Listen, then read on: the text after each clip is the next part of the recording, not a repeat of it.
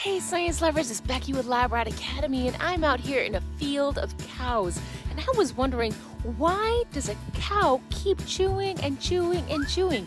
It is so fascinating. The reason they do it is called chewing their cud.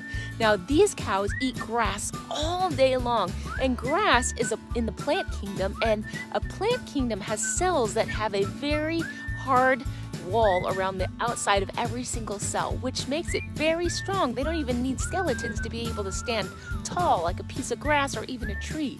However, when a cow tries to eat grass, they have to somehow get into the cell wall of every single cell in a piece of grass, which is hard to do.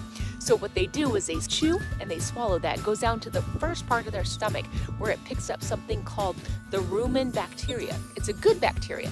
They regurgitate that rumen bacteria with all of that chewed up grass and they put it in their mouth and they continue to chew it, chew it, chew it.